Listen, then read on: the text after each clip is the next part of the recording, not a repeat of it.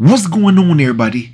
Welcome back to the channel. Today we're about to go over how you can make 400,000 stubs in less than two hours in MLB The Show 22. If you're new to the channel, go here right now and drop a like on the video for more MLB 22 tips as far as XP glitches, making stubs, all that type of good stuff. Let's get right into today's full stub making breakdown. If you want to complete every collection super, super fast, head over to my sponsor and use code Phat for 5% off your order. Super fast and reliable. All right, so if you look at this main screen, you can see 916 is the next featured program. What does that mean for all no money spent and money spent players? That means today is 9 7. That gives you about eight to nine days to prepare for the next program, and you can go ahead and make 400,000 stubs in about two hours each and every time a new program releases. Now, 916, remember that. This, what I'm about to show you, is going to help you make over 400,000 stubs in the first two hours, up to about 600, 650 thousand stubs. All right, so what we're gonna be doing is come to programs, okay? Now, I didn't play the last program, haven't been on the game that much, but I'm gonna help you guys if you are low on stubs or you need stubs for the next collection that comes up or finish the old collection. This is gonna be the fastest way to get 400,000 stubs or more up to 600, 700K in less than two hours. So if you come right here to the program, you go to March to October. If you pay attention to this, you can see you can play on veteran, you can play on all-star, you can play on Hall of Fame. But even on veteran, once you get to all-star break evaluation, you're gonna get 5,000 to 14,000 XP. What does that mean for you?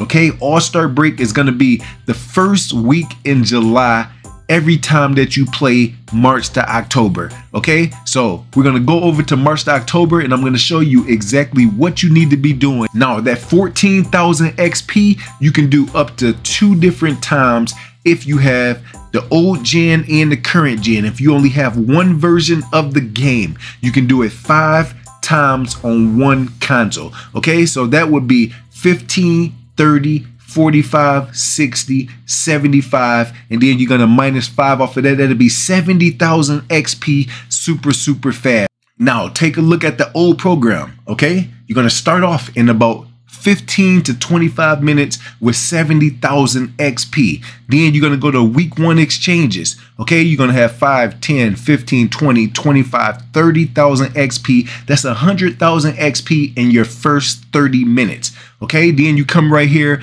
to collections or you have conquest or your daily moment. You're going to be getting all the packs throughout the program and then you're going to be getting to your first legend boss at about 200k okay? 150k to 200k is going to be your first boss most of the time okay? So when you go here and you sell this this is 219k and this is two two and a half weeks later. So once you complete this in that first two hours because you're going to start off with a 80,000 xp boost to 150 thousand XP boost. Okay, then you're just gonna have to grind one thing, maybe a conquest, something else to get that extra 45 to 50,000 XP in that first two hours.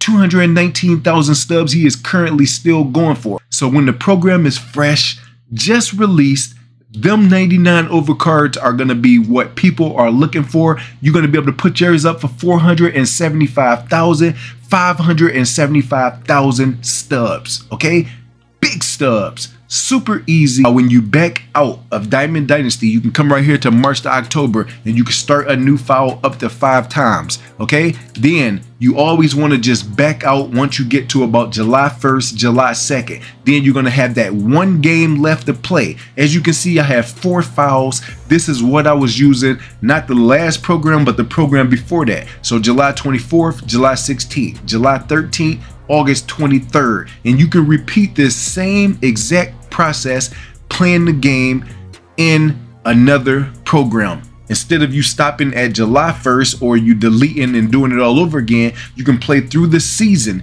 And once you get to the end of the season, making it to the playoffs and stuff, you're going to accumulate that same threshold with that 14,000 XP 14,000, 14,000, 14,000, 14,000, and you can do a fifth foul at the bottom. Okay, so you have about eight, nine days to do this. It usually take about an hour and a half to an hour and 45 minutes. So do an hour 45 minutes tomorrow hour 45 minutes the next day, hour 45 minutes the next day, hour 45 minutes the next day, so on and so forth, using the team that you want five different times. Okay, you're gonna have about a three day break waiting for the new program to come out, get to about July 1st, no further than July 2nd, and then exit out. Don't play anything again. Once the new program is live and it pops up in the game, come in there, click in, go in there and play that one mission. You might start in the sixth inning, you might start in the ninth inning. Play that,